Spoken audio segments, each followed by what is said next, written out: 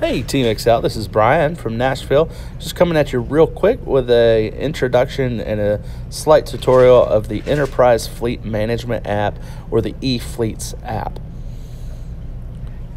If you download the app and get into it and get your information put in, you're actually able to log your mileage for the day. Uh, you're able to find near service locations. So if you're out in a new area and don't know where to go, uh, your maintenance card is actually kept on here your insurance card. You can upload photos of that so that it's on there. The contact information of everyone that's at Excel or even with Enterprise that you might need.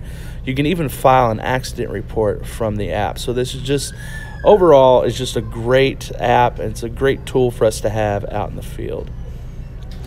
So for recording mileage, if you open up the app and click on the odometer bar, it's going to pull up a page with all of your odometer information go to the top right hand side and you're going to click on the plus sign and that's going to give you a new page where you're going to be able to add in information.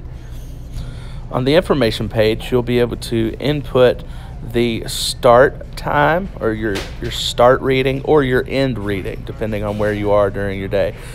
Uh, miles driven will automatically show uh, so it calculates all of that for you if you haven't driven between your previous end time, so if you finished work the previous day at 96604, you start your new reading at 96605. So miles driven is one. You would leave the personal miles box blank. Leave that as a zero, and that will be marked up as business miles.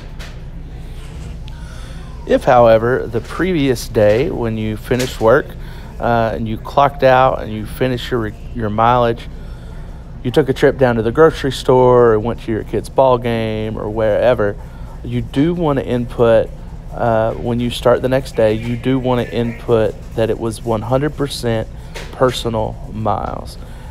And then that will reset so that it, everything in the future will be business miles.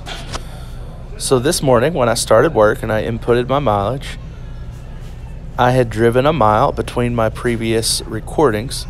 So I put 100% personal miles. I also, down in the notes, notated that my work 119.18 start. And at the end of the day, I'll put 119.18 end, just to help me keep things clear about what drive times were for what and how many miles were driven for business.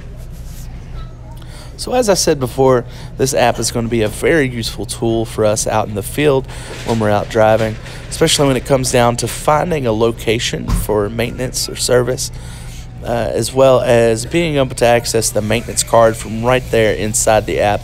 That's very handy, very useful. Then also having all the contact information of everyone over at Enterprises uh, involved in our vehicles, as well as potentially being able to uh, file a an accident report on the app uh, and request roadside assistance. So this app is very helpful. It's very powerful. Hopefully, we can really be able to utilize this in the future and get the most that we can out of it. So I hope this helps, and I hope you make the best of your day. See you next time.